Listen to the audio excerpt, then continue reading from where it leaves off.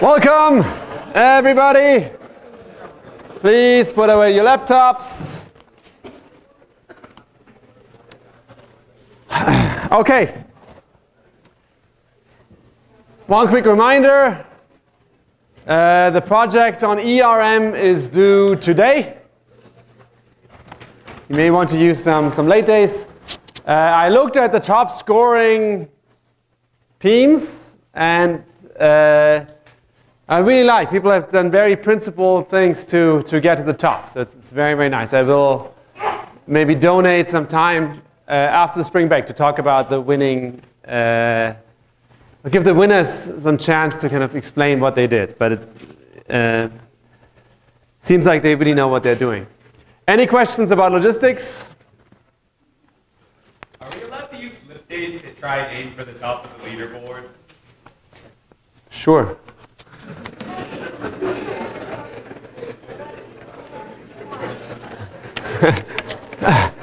okay, any other questions?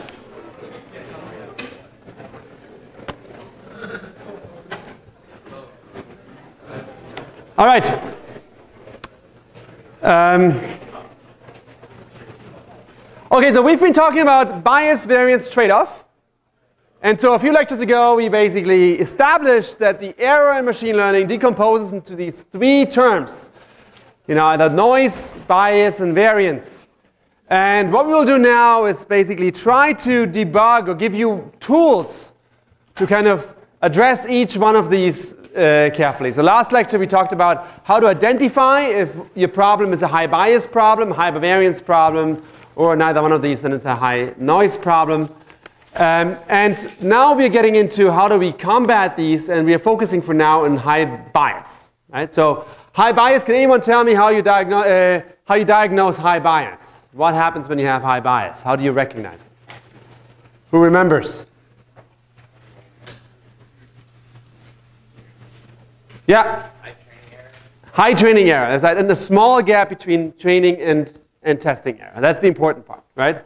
So your training error in some sense is already too high, and your test error is actually not much worse, right? So the problem is not the gap between training and, and, and testing, which is variance, right, which is the high variance, but instead actually is that your classifier itself can't even do it on the training data set, right? So that's clearly high bias. well, it could also be attributed to noise, but um, typically it's high bias. So one thing we did last time is we said, well, I give you this very simple problem where we said, we have these circles in the middle, and then we have crosses around it. And we said, well, we really want to use a linear classifier because we just got a discount on SVMs.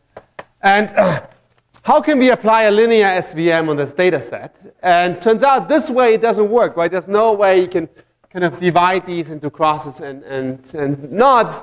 But one thing you can do if you just do a, uh, add some features, so in this case, actually, if you take x1, x2, and you would just add some features, for example, x1, you know, one person actually suggested co uh, polar coordinates, but you know, you could also just add, for example, x1 squared, x2 squared, or the sum of those two, right? That's the same thing, because if you assign weights to those, you sum them up. And then actually suddenly this becomes linearly separable, right? And it's really, really easy. It's a really easy problem. So that leaves, uh, makes us believe, well, maybe that's what we should do, right? So maybe one good way of addressing high bias is just adding more features.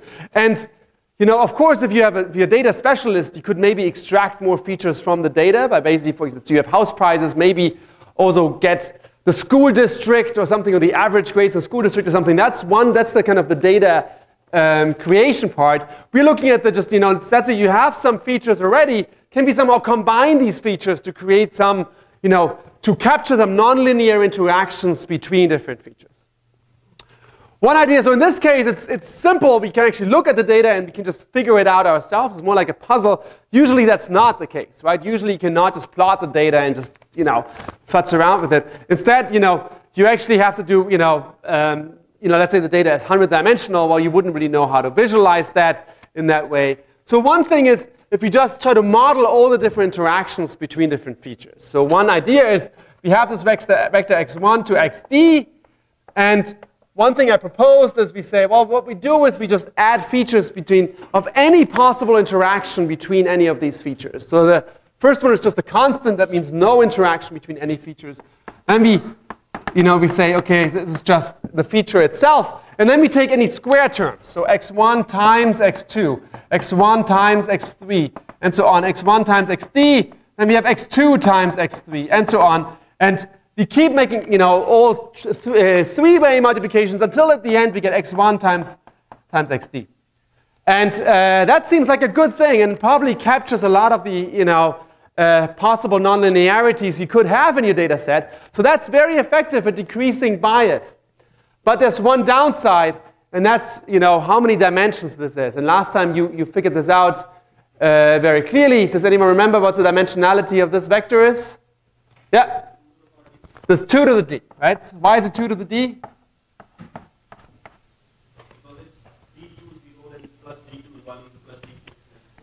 Yeah, the, that's one way of, that's right. Another way to looking at it is you just always have x1 to xd, and each one of them can be on or can be off, right? And then actually this way you get exactly two possible uh, options for each one of these terms.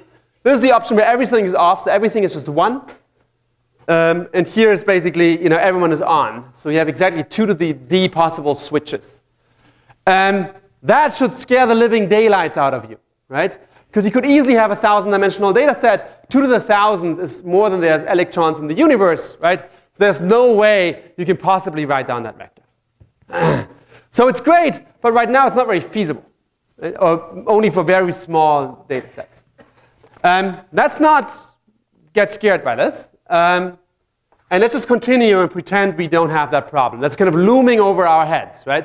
So we want to do this stuff, um, but let's just, you know, ignore it for now. so what I want you to uh, show you today is, you know, basically two tricks how to deal with this. So we would like to extend the dimensionality of our data by kind of combining features with each other. That seems like a good approach. Uh, the problem is this is really high dimensional. That is, you know, uh, the first thing is that's really, really slow, and B, that needs a lot of memory. So the first thing I want to show you is just a simple trick. We basically, and I, I just, you know, that's, um, that's a lot of mathematical reasons why you want to do this, but I now show you just a very pragmatic reason. And that's, well, one thing we can do is uh, if you have a linear classifier, it turns out we can actually uh, express the linear classifier in terms of inner products. And if we only access our data through inner products, then we can pre-compute these. And therefore, we can kind of store them, compute them once, and then uh, during the training, we, we just uh, save them. So we just uh, pull them up. So, so let me just explain this. So let's say we have a matrix K. We say Kij equals xi transpose xj. Okay, so basically what I'm trying to convince you of, and this was part of the homework, so um, I kind of primed you here. So I think one homework ago you had to do this already, is, well, if I can express my entire classifier in terms of inner products, then one thing I could do is I could pre-compute the inner products. And the advantage is then I just have to look them up. I don't ever have to compute them. And you know, one reason you may want to do this is because you already have the feeling these are going to be really expensive, these inner products. okay, so let me show this that we can actually do this, right? That basically we can express everything in terms of inner products. And so let me for now just look at the square loss, just because I like the square loss, but it also holds for all the other losses that we actually talked about. so if I remind you, the square loss is W equals, um, we sum over all our points, 1 to n, and the loss is w transpose xi minus yi squared. Okay. so what's the gradient of this? The gradient, when we do gradient descent, is, please correct me if I'm wrong now, w transpose, this, xi minus yi xi. Okay, so this is the loss function, this is the gradient. Let's call this g. Okay. so far, so good. Now I'm, sorry, the, the, the, notes are a little bit different. I just realized just now, in the, you know, as, as I walked over, um, that maybe I can explain this a little bit more condensed. so Here's the trick. The first thing I want to convince you of is that at all times during our algorithm, this was part of the homework if you remember, um, our W can be written as a linear combination of our inputs. So I claim that W equals 1 to n alpha i xi for some assignment of, alpha, uh, of alphas. Okay, so that's, that's a claim that I will show you and prove to you in a few seconds. Right? and if this is true, right, then actually think about this. What happens here, right? In this, we have we only access our data in terms of W transpose X, right? Here we only access our data in terms of W transpose X. Well, there's a little term here, but don't worry about this for now. So when we have W transpose X, well, W actually is this thing here, right? So what does W transpose X become? Let's say W transpose Xj becomes the sum over I 1 to n alpha i xi transpose xj. Well, this here is just kij. Okay, so just, just to be clear, what I'm trying to do here is to express everything in terms of inner products. Because then I can, then I can pre-compute the inner product, save them somewhere in memory, and then just look them up every time I access one. Right? I don't actually have to compute them. And the nice thing is, now my vectors can be very high dimensional. It doesn't matter. As long as my inner products are pre-computed, I'm good to go. Okay, let's not worry about the pre-computation computation of the inner products. So, all right, so when we, during training basically, you know, we only access our data through this W transpose X. If W actually has this form that it's just, you know, a linear combination of my x's, which I claim is true, and I will prove to you in a second, then actually everything is good, right? Then W transpose Xj for any vector Xj in my training data set just becomes this following thing, which is just you know, the sum over alpha i and then kij. Any questions at this point?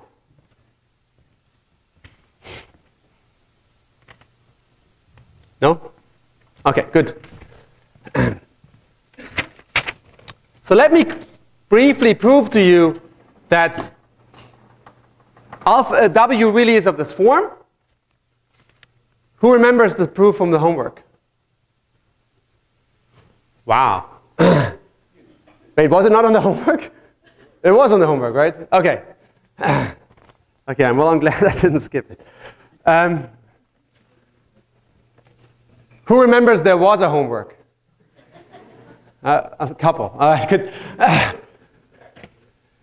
um, okay, good. So here we go.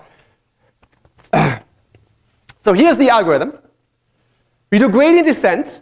The square loss is quadratic, so it's convex. So the beautiful thing is that we can initialize our W any way we want initially.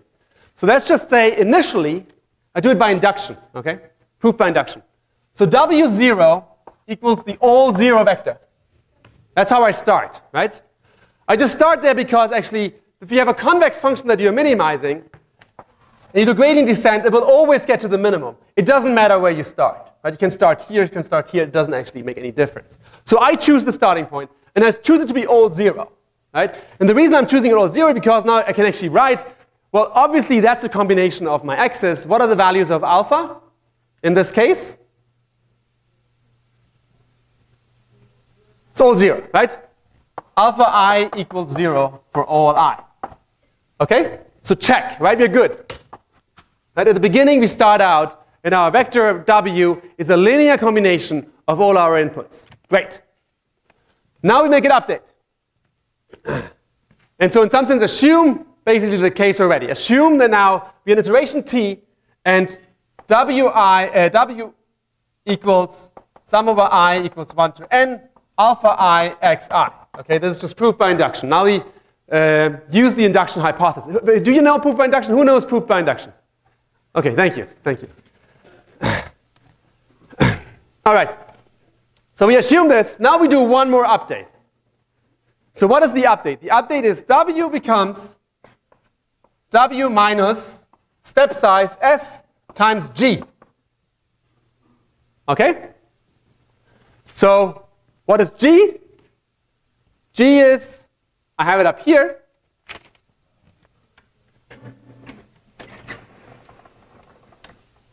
Is this term here, right? And the sum of i is 1 to n, 2 times this term here times xi, sum over all xi. Well, I can call this here gamma i. This is just a scalar, right? This here is a scalar, this is a scalar, this is just a scalar. So my G is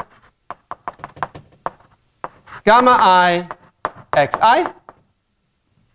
Okay? And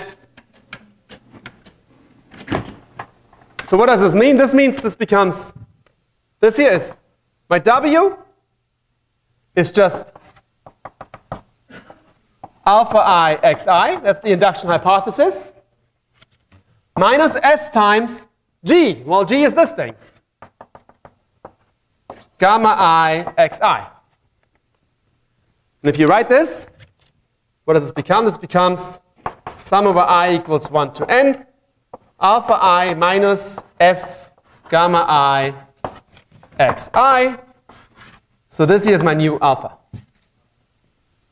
Right? So this actually proves, this already, uh, we're done with the proof. So it is true initially, all the alphas are zero. If it's true at the beginning of any iteration, it will still be true at the, uh, uh, true at the end of the iteration. Right? We just change our alpha. Alpha i becomes alpha i minus s gamma i. Right? So another way of looking at this is what we could do is we could actually change the gradient descent algorithm by saying initially alpha i equals 0 for all i. And now we iterate, we compute gammas, compute gamma i for, you know, uh, this is now the loop. Compute gamma i, and then update your alphas by saying alpha i becomes alpha i minus s gamma i. And now loop around.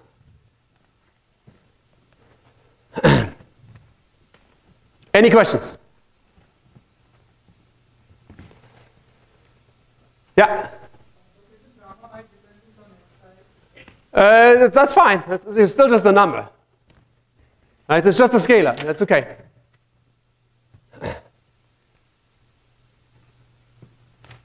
Right at the end, you know, this is still just a linear combination of my x's. Right? Where this gamma comes from doesn't matter. Right? You can put in the age of my mother-in-law, right? That's fine, right? It's, it now it depends on the age of my, my mother-in-law, but it doesn't actually matter, right? It's still a linear combination of the x's. Yeah. Any more questions? Is this only true for linear classifiers? This is only true for linear classifiers. Okay. So what we are, we're trying to make, we're holding on to the linear classifiers. We want to make them more powerful, right? Because linear classifiers are beautiful. okay, any more questions? Okay, awesome.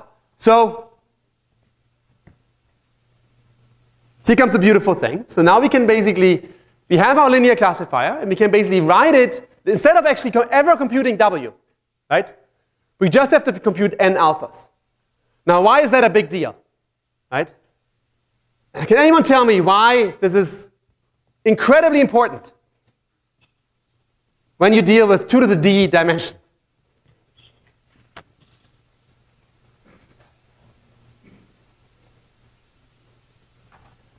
Think about it. We started the lecture by saying we take our feature vector, right? And we map into some really high dimensional space. And now we learn a classifier there, right? This is 2 to the d. This is ridiculously di high dimension, right? If we would have to store the w vector in this ridiculously high dimensional space, we would use up all disks on the entire planet, right? Even those in North Korea, right? There's only a couple, but so what I just told you is we don't have to do this. All you ever need to store is n numbers, your n alphas, right? And that's independent of the dimensionality of your data, right? So the storage we need to do, to do this algorithm is independent of the data dimensionality, right? So that will allow us to go to really, really high dimensional spaces. Actually, by the end of the lecture, we will go to infinite dimensional spaces. Right? So that, you know, certainly reassuring that we don't have to store infinite dimensional W. so, in, so basically, the way we now do gradient descent, we just store n data points where n is the number of data points. Uh, sorry, n weights, these alphas, where n is the number of data points, so it only scales with n. n is always finite, right? We only have finite amount of data. Any questions about this? Okay, so we can do the training um, by just storing these alphas. Um, how do you do testing? Well, if you do testing, your h of x is, this is a test point, this w transpose x. Right? W is super, super high dimensional. We never computed it because we were way too scared about it. So what we do instead is we do the following. We say, well, this is just, W is just I equals 1 to N alpha I xi, and now we just have transpose x. Okay, so now we can also do the testing without actually ever computing W. Okay, so during testing, during training and during testing, we never need W. W doesn't exist. yeah?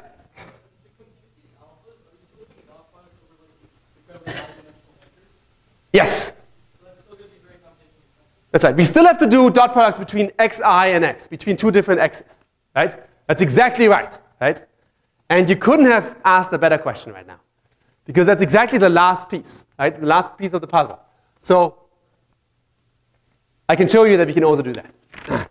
So the first magic trick in some sense is that we can train a linear classifier in this extremely high dimensional space without ever, ever computing the W that defines the hyperplane. We just have to store these alphas, one for every data point. And we wrote everything in terms of inner products. Now what he's saying is, wait a second, right? We still have to compute these inner products, right? So when you compute Kij, that's xi transpose xj, right? Or here with the test point, you have to compute the inner product for every single training point with every single test point. Have we gained anything, right? That still seems very, very expensive. All right, so here comes the second magic trick. Are you guys ready? All right, Arthur's ready. or was that a no? it was a yo. All right, good. so let me just let's just go back to the very beginning of the lecture, where I showed you this, this description up here. Right? So let's just go with this for now, and say we use this expansion, right? Just because it's very, very convenient, and uh, it would be awesome if we could do it. So, all right, here we go. So here comes the magic trick. So we call this here phi of x. x goes to phi of x. Now we want to compute the inner product between two such vectors. Let's call them x and z. So you want to compute, so this means x transpose z becomes phi of x transpose phi of z. Okay? Any questions at this point? Raise your hand if you understand what I'm doing. Okay, so basically we are mapping our data from this low dimensional space in this ridiculously high dimensional space, right? Scares you out of your pants, right? And, but in this high dimensional space, we only have to compute inner products. That's the only thing we need to do. Let's do it. So we have our, our data points. Now we have to compute the inner product between phi of x and phi of z. What does that mean? Well, we compute the inner product between this vector and the same thing with z's. 1, c1, zd, c1, z2, c1, c3, c1, cd.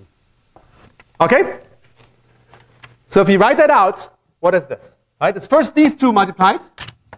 1 plus x1, z1 plus x2 z2 plus plus xd zd plus and so on and so on plus x1 xd plus uh, times c1 cd. Okay?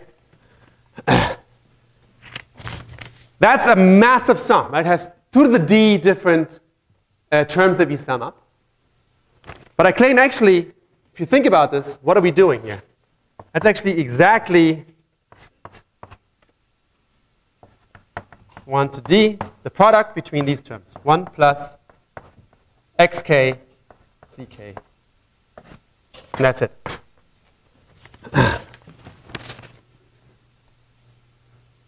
And this only takes d iterations. This takes a few milliseconds. So this here takes, computing this, takes from now until the end of the universe, right? So, well, the solar system. Let's say the sun collapses, the Earth collapses into the sun, like, you know, 10 million years or I don't know how many years, uh, maybe 5 billion years. This here takes 10 milliseconds. The answer is the same thing. You can choose right now which one you're going to do.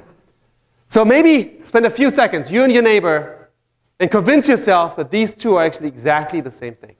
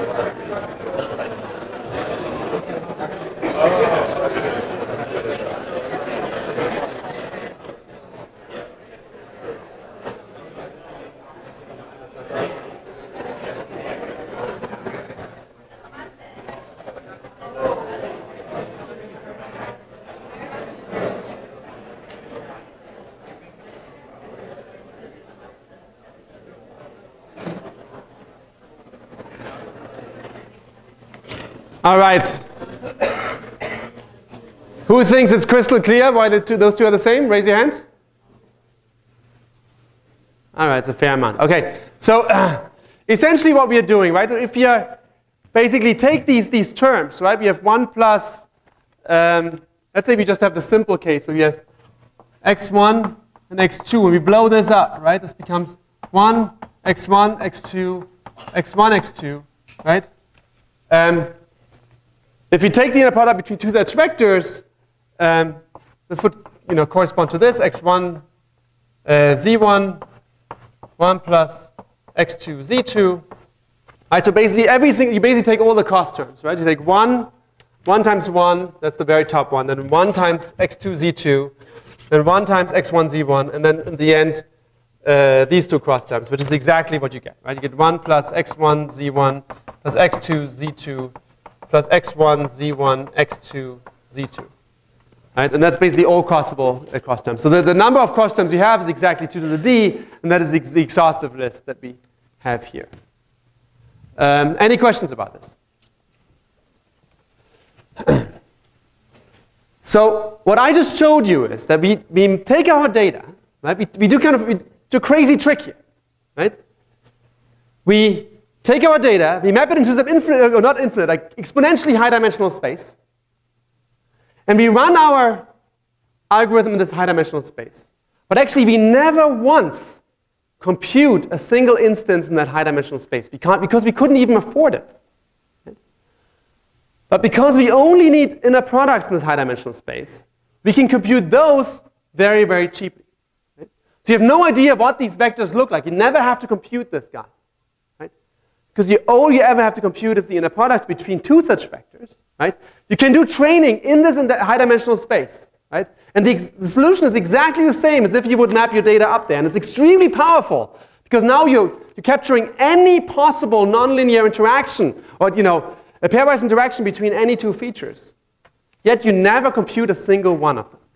Right? And the answer is exactly the same. So all you need to compute once is this kernel matrix Kij equals phi of xi transpose phi of xj, right, for any two points, which is just order decomputation. Right? So each one of them takes a few milliseconds. Right? So it's not a big deal at all. So suddenly, we took a very simple classifier that just can make linear uh, decision boundaries and made it exceedingly powerful. Another way of looking at this is that all we need from our vector space is an inner product function. And you can also view this as kind of saying, we just redefine inner product. We say the inner product between two vectors is no longer just xi transpose xj. Instead, the inner product between two vectors is k of xi comma xj where that is some kernel function, right? And where that actually equals this, right? So this here actually equals k of x comma z. Right? So I just define a new inner product. And I run my algorithm with this different inner product. And I know this is well defined because I know it corresponds to some extremely high dimensional vector space in which is just the good old inner product that you all remember, right, from high school. Any questions? Yeah?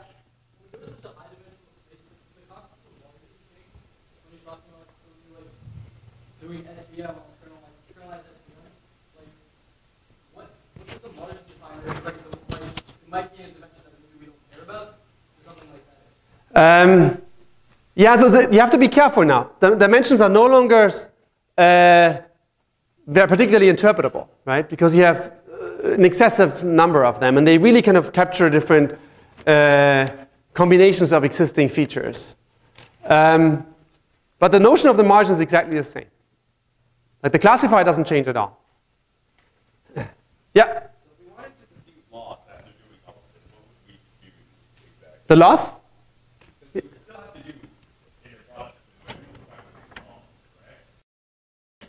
So here's what you do. Um, where is it?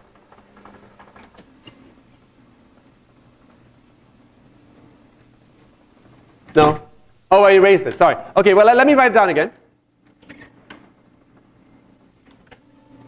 So uh, the loss was the following, right? My loss was L of W was sum over i equals 1 to n W transpose xi minus yi squared, right? So I did square, uh, square regression, okay? So now we, we realize that W can be expressed in terms of alphas, right? So I can write my whole loss in terms of alphas. And W becomes I equals 1, uh, J equals 1 to N, uh, alpha J xj transpose xi minus yi squared, right? Now I have everything in terms of inner products. Now I plug in my new inner product function. And I just say this is actually k of xi comma xj, which is this function up here. Right? And now I can just compute the loss, and it takes, you know, sub-seconds, right? No big deal at all. Super, super easy. And you take the gradient with respect to alpha, and you get exactly the gradient descent algorithm that we wrote down earlier.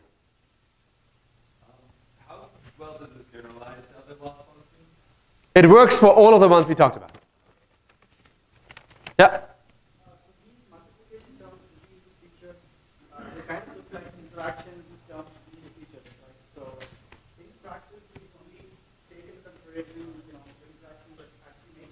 Good question.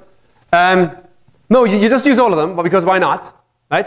Because you could just assign zero weight to them. So, so here comes the crazy thing, right?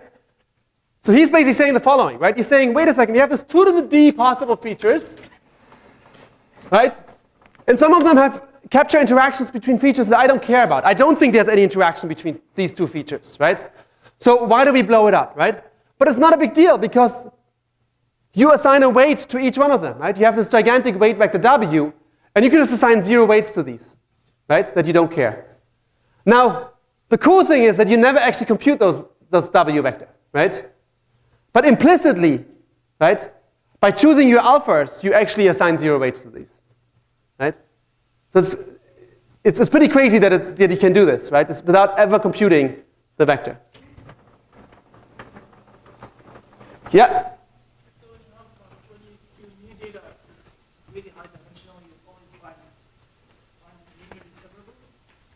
Sorry, if, if you, oh, yeah, okay, good, good. So the question is, is it linearly, is the data now always linearly separable? Um, let me let me show me a few. So, so let, let me get back to this question in three minutes. So one thing I just I just showed you, I just showed you this very very carefully constructed feature expansion, right? Where we basically take every any possible cross, you know, correlation between different features, and I showed you that that can be written in a, you know, in this very compact form. Right? The question is, is there other? Are there other inner product functions that we could use? And turns out actually there's tons of them. Right? Tons and tons and tons of them. And you can make your own, actually. And if it catches on, you can name it after yourself or after some loved one or something. so let me give you a few examples of inner product functions that we, that we use. so the first one, and we call these kernel functions for, for good reasons. Because they're actually, what we're doing actually is we are, by doing this, we're actually mapping our data in a reproducing kernel Hilbert space that actually is defined through that kernel. so the linear kernel function is very simple. That's just k of x comma z equals x transpose z. Right? If you use the linear kernel, the algorithm becomes the good old linear classifier that you're all familiar with, that you all like from, you know, that you did before the midterm. Um, another one is polynomial kernel.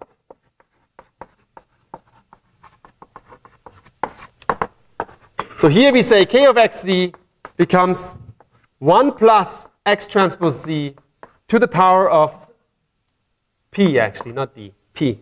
Well, I can, you can call it d, whatever, it doesn't matter. some constant. Just raise that to some constant. What that captures is actually, in some sense, now you get, uh, if, if p is 2, then you basically can model quadratic functions. If p is 1, it becomes the linear kernel exactly plus some constant, which doesn't matter.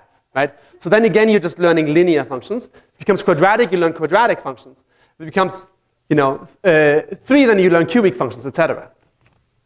the most famous one, this is, like, this is like the Brad Pitt of kernels. Right? This is like people you know, sometimes faint when they see it. It's like, it's called the radial basis function.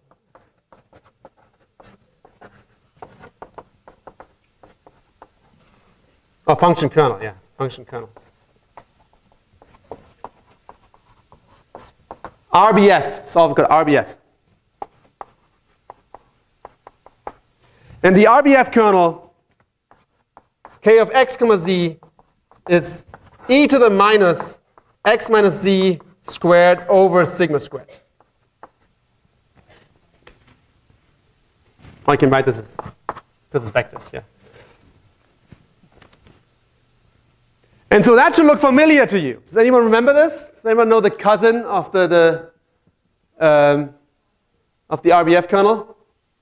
There's a Gaussian distribution, right? So, so the RBF kernel is so popular for various reasons. Number one, you can prove that it's a universal approximator. So what is the uh, universal approximator means that actually you can fit any function arbitrarily closely, given a few assumptions.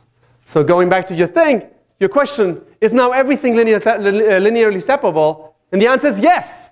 Right? If you use a RBF kernel, suddenly every problem becomes linearly separable, provided you don't have two identical data points. Like, uh, the only exception is like if you have two data points that are identical and have different labels. You can't do it. But you know, taking that one point away, you know, that, you know, which is ridiculous, then um, actually everything becomes linearly separable. Right? So you can learn anything you want with just a simple linear classifier. The RBF kernel corresponds to, to a space that's infinite dimensional. Right? So you can't actually write down phi of x. Right? It corresponds, like there exists some phi of x such that, you know, k of xc equals phi of x transpose phi of c. But this is actually infinitely dimensional. So you can actually never write it down completely. Right? Um, but you can approximate it pretty well. Uh, that's arguably the most popular kernel. And if you, you know, in most problems, if you use one particular pro, uh, kernel, that is, that is the one that usually works best out of the box. in one, there's a connection with the Gaussian distribution, and here's in some sense what it does. Uh, what the RBF kernel does, it takes your data set and puts many, many little Gaussians around every single data point. This here is the Gaussian. This here is my training data point, right? And sigma basically tells me how wide these Gaussians are. And what you do is, uh, by doing this, basically, you get some weird space where you basically say, how similar are you to any given data point? And the reason you can basically approximate anything you want is because if you have enough, it's kind of like, it's similar to the nearest neighbor proof to some degree. But um, in some sense, basically, if you have enough training data, then actually there's always some training data point. You put a Gaussian around that data point, and that then defines a one dimension in your infinite dimensional space. Um, does that make any sense? so it, it, you know, it's a little bit hard to kind of uh, picture these infinite dimensional spaces, but, but you know, you get used to it. It's, um, it's a nice world to live in. uh, there's a few more. Let me just think, you know, how much time do I have? I want to show you a little demo. Um,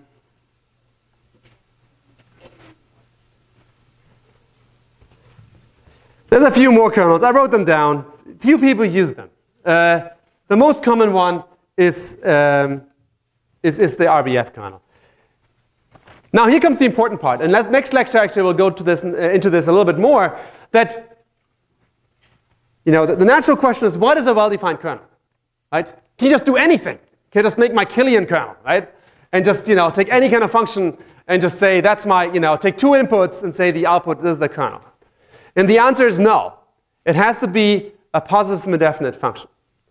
Um, so what does that mean? That means if I take compute this matrix K for any set of vectors, that matrix set has to be positive semi-definite. Who knows what positive semi-definite means?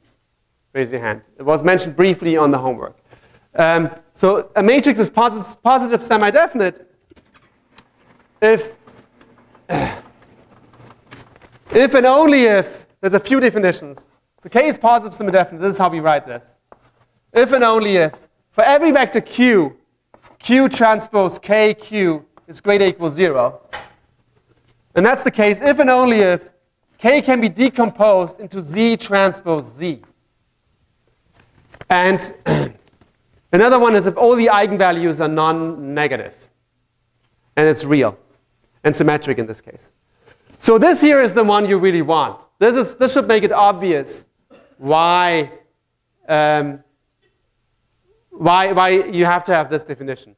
These z's, can anyone tell me why this is, uh, why the, you know, if, if you know this is the case, then it must be a well uh, well-defined kernel. Can anyone tell me this? Yeah? Uh, that's right, that's right. That's exactly right. So each column here in Z is one particular phi of x, right? So these z's are basically the really high dimensional feature representations, right? Um, and if I just inner, you know, basically you know now it's an inner product between, uh, it's an inner product function, right? This doesn't have to be ridiculously high dimensional, and the reason is because this matrix K is only over a finite number of points, and if you have a finite number of points, they always lie in a finite dimensional space, right? Uh, so you can just do PCA on those points. So that's why this doesn't have to be, in, so even if you have an RBF kernel, you can take the kernel matrix and compute these z's. That's fine. You know, so the important thing is for any set of points, if you compute the kernel matrix K, um, you can do this decomposition. So that's basically, uh, that, that's, that's the only condition you have to have. So the beautiful thing about this is that that's extremely, it's extremely flexible, right? So once this came out, people went nuts, right? People in biology defined kernels over molecules, right? And over DNA sequences, right? There's no vectorial representation. It, you don't need it, right? You just have to define some inner product matrix that's actually always positive semi-definite, right? So it's extremely powerful. You can define inner products over sentences, right? Over all sorts of weird data con uh, constructs. And now you can use all these linear classifiers like SVMs, right? Suddenly they apply to data sets where you don't even know how to write a vector, right? Yet you can define a linear classifier. All you need to know that is in principle, there exists some mapping from this data into some infinite dimensional space, which I don't know, but it doesn't matter, because as long as I can compute inner products, I'm fine. So it's incredibly powerful. And when this came out, the whole you know, machine learning world went crazy. Uh, this was in 2000, you know, this was basically with SVM, so uh, Corinna Cortes and Isabella Guyon. And, and they basically introduced this for their support vector machines. And that's why support vector machines became so incredibly popular. And for, I think for 10, 10 years, uh, the whole machine learning field did nothing else but you know, mapping everything into kernel spaces and analyzing these very, very thoroughly. Uh, let me show you a little demo that you see a little bit what this looks like in practice. Any questions while I'm booting the... Why are some kernels better than other kernels for certain data sets? Why are some... So you can have really terrible kernels, I guess. Um, right? The zero kernel maps everything to zero or something. Um, so what you want is that a kernel says similar points are similar when they have similar labels. Right? And so you can encode that if you know a lot about your data set. The better you encode that, the less data you need to train it. Yeah?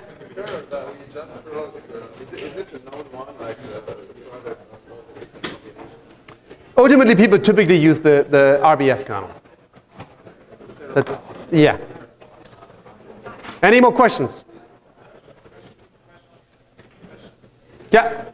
Uh, but we're still limited by alpha, right? So basically, as long as we compute alpha as more accurate as then alpha better. Uh, sorry, we are still limited by alphas. What does that mean? I mean, we compute alpha over iterations, right? So like, the more iterations we have, the more accurate alpha we get. That's right. So basically, alpha classification can still be not ideal with low using kernel. No, it's convex. All these loss functions are convex. So you can, you can optimize them to arbitrary precision. So you can use you know, second order method like the Hessian, and, and you, can, you can make this as precise as your computer can represent it. Um, okay, so let me show you, there's an SVM. Um, well, let, let me actually first, okay.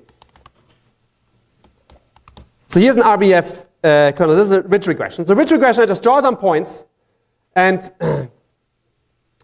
And now I have the RBF kernel. So what you see is the following.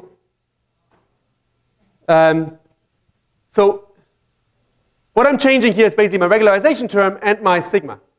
And down here, actually, if my sigma is very, very wide, you can't see this because the blackboard is in front of it. Sorry. And this becomes the linear classifier. This becomes the Gaussians of the RBF kernel really, really wide. But if I just change my sigma, make it smaller, and that's, that's going upwards, and if I regularize less, right, then actually you see on top left, you get an extremely powerful classifier, right? So you basically, and here, somewhere in the middle, right, you get something that actually captures this, this data pretty well, right? Here, right, I basically become, you know, I have a variance problem, right? I'm totally over specializing to every single point. I basically have a spike that just hits exactly that point, right? So I'm memorizing exactly my training data set, right? That just shows you the RBF kernel can learn anything, right? But this is too much. That won't generalize well. But if you go down here in the middle, right, you see beautiful curves, right, that capture your data set very, very nicely, right? So what you now just have to do is you have to basically find your lambda and your sigma, basically find the right hyperparameters, and you can uh, learn any, any data set you want. Um, let me show you another demo for actually classification. So let's make some really nasty data set. Um, what's a nasty data set? Any ideas? Any suggestions? A smiley face. A smiley face. All right, good. So what are the two classes in the smiley face? Um, Eyes and smile, I guess. So these are positive. What are the negative points? Just the smile curve, essentially. Oh, I see. Wait, wait, okay, wait. I guess I already made it wrong. So let, let me just do this. So let me just put the other ones all around it here. So this guy is like, you know, smiley person who has freckles. okay, good. So now let's run this, right? So this is now, now you're running a linear classifier on this, right? A few lectures ago, you would have laughed at me, right? Hopefully. so let's just do this. Well, this is a linear classifier. This is just if I run a linear classifier. It doesn't do anything. The decision boundary actually is so, so it doesn't even draw anything. Um, it gets some precision errors. So this here is if I take a linear classifier and I now show you the prediction values uh, between positive and negative. And what you see is it classifies everything at point two because it has no idea what to do. so now I run RBF kernel. Ta-da! Right? And so what you see here is Right, so the blue is basically negative, the, the crosses are positive, and the, the white line is actually exactly the points that are one, one a uh, margin one away from the decision boundary. These are my support vectors, right?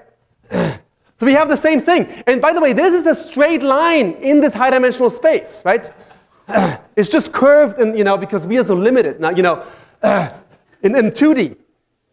And I can now show you the value you know, how much a certain point is positive and how much is negative. If I now, this here is actually, and I can show you, know, I can now actually make, you know, show you this in 3D. And you see a landscape, right? Ah. you see the smile basically, right? Like it goes negative into these, carves out these valleys. All right, let's leave on a high note. See you next Friday.